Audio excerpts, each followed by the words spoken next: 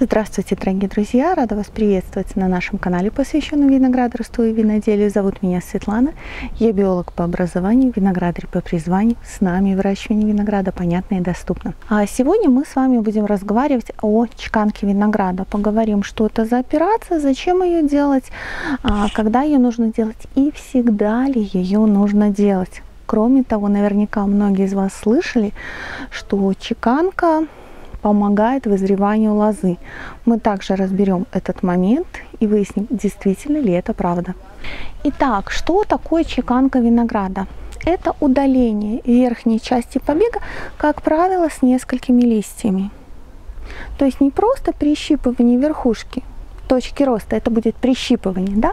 А чеканка это когда у нас уже часть побега выросла и мы его удаляем. А для чего это нужно? Одни говорят, что чеканку нужно делать для того, чтобы а, не развивались заболевания в виде профилактики. Ну почему? Смотрите, там нарастают молодые листья. А, как правило, нижние листья они более жесткие, и а, особенно если мы проводили какие-то профилактические обработки, они уже имеют определенный иммунитет. Молодой прирост этого иммунитета не имеет, и поскольку там нарастает вот этот молодой прирост, он может заболевать. Ну вот считается, что удаление этого прироста молодого а, уменьшит э, вероятность развития заболевания. Да, это действительно может быть так. Второй момент влияния чеканки на вызревание лозы. Вот этот момент на самом деле очень спорный. И если глубоко копнуть тему, то разные авторы имеют разное мнение. И здесь смотрите, что очень важно, чтобы оно повлияло а, провести эту чеканку вовремя.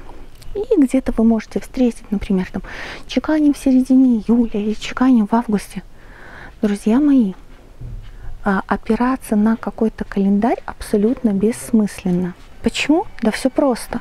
А, в разных регионах в разные месяцы виноградные лозы развиваются по-разному. Даже на одном участке виноградные лозы развиваются по-разному.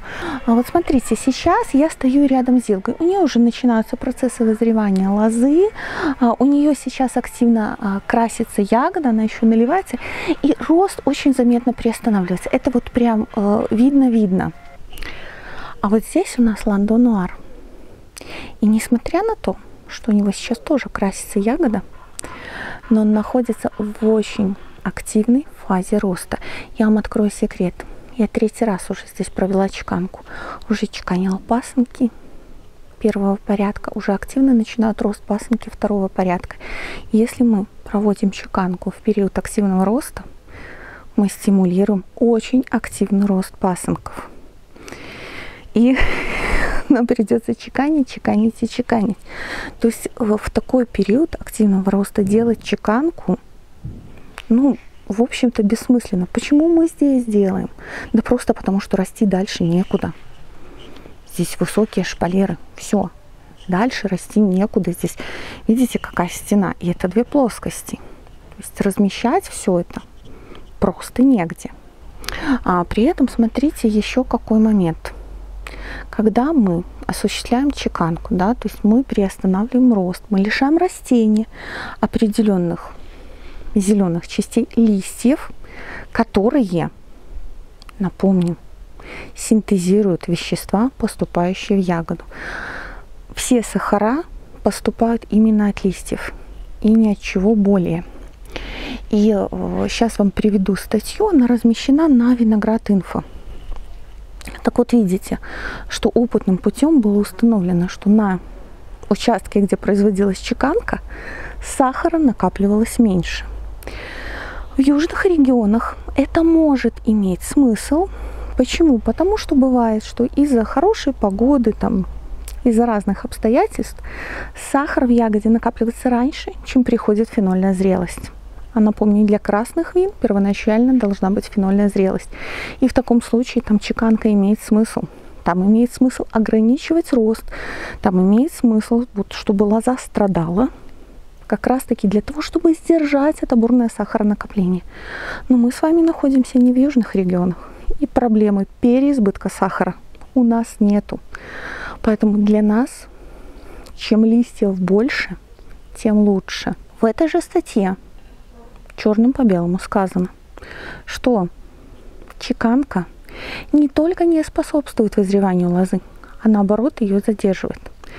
Поэтому ради вызревания делать ее смысла никакого нет. А еще смотрите, что происходит. Кстати, и в статье это описано. Вот наши северные регионы, пусть не северные, пусть средняя полоса, чем характеризуется? Тем, что у нас конец августа, начало сентября может начинаться сезон дождей. Что такое лист? Лист – это мощный насос влаги, который ее испаряет. Когда мы лишаем растения части листа, вода это все равно идет. Только если бы ее лист испарял, а так она идет в ягоду. И что мы получаем? А мы можем получить треск. И вы можете хоть сколько угодно вылить кальция. Это бесполезно. С кальцием вообще я много раз говорила, надо уметь работать, надо давать его вовремя. И это абсолютно не панацея от треска. Надо понимать особенности растения, надо понимать его физиологию, и тогда мы научимся им управлять. Так вот, в наших регионах поддерживать большую листовую массу – это классно. И в момент, когда у нас уже созревает ягода, и мы знаем, что могут быть дожди, не надо чеканить. Даже если у нас там сверху будет такое гнездо, которое всем мешает. Понимаете? Из двух зол мы должны выбирать меньшее. И перед дождями чеканить не надо, потому что мы убираем вот эти лишние насосики, которые у нас эту воду могли убрать. Получаем либо ягоду водянистую с размытым сахаром, либо, что еще хуже, треск, что нам ни в коем случае не выгодно. Следующий момент, особенно касательно а, чеканки молодых растений, молодых саженцев. Если им есть куда расти, пусть растут. Вот не мешайте. А, где-то я читала вот на каких-то форумах, что надо убрать, чтобы развивалась корневая одна простая истина. Верх и низ находятся в балансе. Если слабый верх, будет и слабый низ. Если вы его ограничиваете, то и рост корней тоже будет ограничиваться.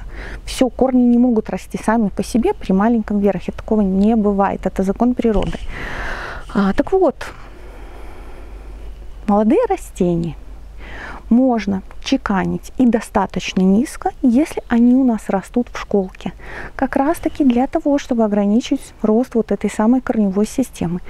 Для того, чтобы нам было легко выкопать эти растения. Потому что на самом деле выкапывать школку с огромной корневой – это тяжкий труд, это адский труд. Те, кто это знает, те, кто это прошел, все, все это ценят и все это понимают. И вот э, встречали мы много раз, что некоторые виноградари там буквально на метре, а может быть и ниже, чеканят с четкой и определенной целью. Если у вас нет цели выкопать саженец, его куда-то перемещать, пересаживать, то не надо мешать ему расти. Вот смотрите примеры.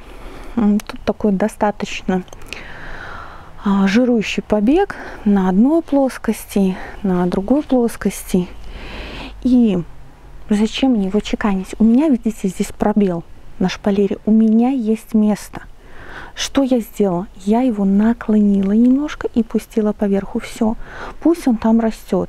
Вот сколько сможет расти, столько будет расти. А, пока не мешает, пусть растет.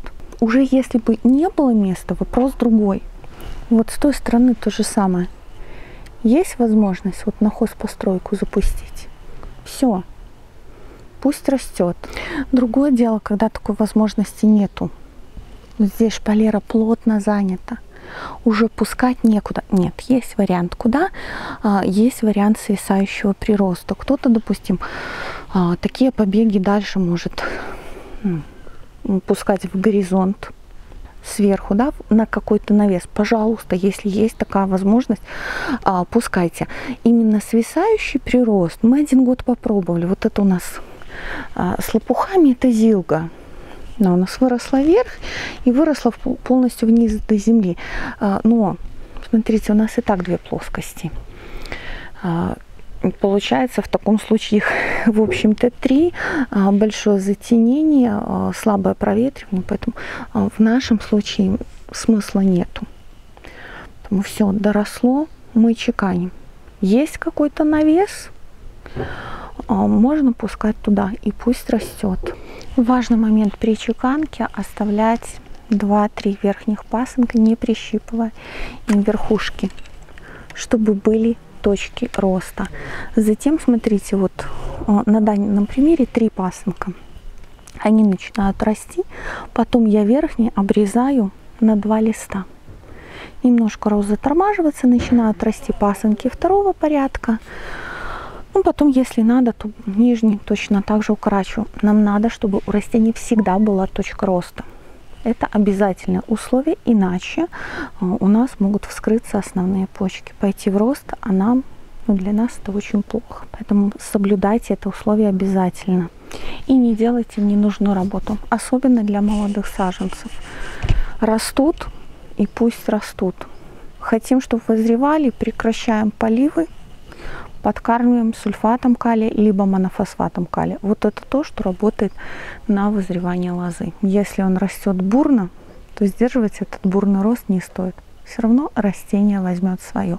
Повторю еще раз, мы чеканим тогда, когда понимаем, что нам уже а, располагать побеги негде, уже не помещаются никуда. В таком случае, да, мы их чеканим. Надеюсь, видео было вам полезно. Большое спасибо за просмотр. Подписывайтесь, ставьте лайки, пишите комментарии. Под роликом нажав кнопку «Еще» ссылка на каталог наших сортов винограда и наши контакты. до новых встреч!